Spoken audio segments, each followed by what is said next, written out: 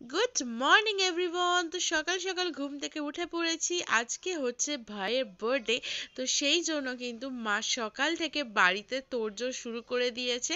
পাঁচ রকম ভাজা, আলু ভাজা ভেন্ডি ভাজা, ভেন্ডি না বিনস ভাজা আই গেস ফুলকপি ভাজা চাটনি, আর এখানে পোনা মাছ এনেছে বাবা, আর এদিকে এসছে হচ্ছে চিকেন চিকেনটা বাবা ধুয়ে রেডি করে রেখেছে।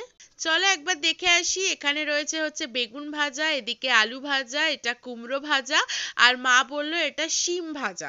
মা শিম ভেজেছে, আর এটা হচ্ছে ফুলকপি ভাজা।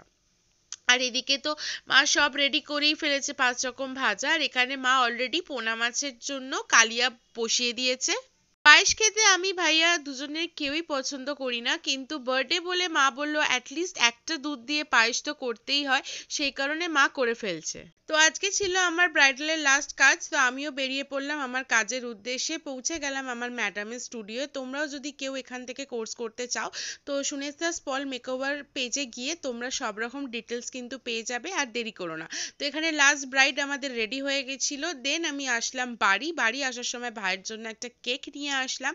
আর এখানেও সব বন্ধুরা চলে এসেছিল। তো ভাইয়ার বার্থডে বলে কথা।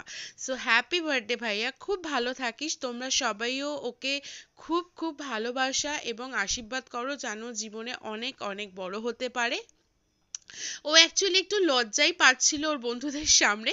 আর এখানে মাকে কেক খাওয়াতে আর মা ফটো তোলার জন্য যা করে আর কি, তো সেটাই করছিল।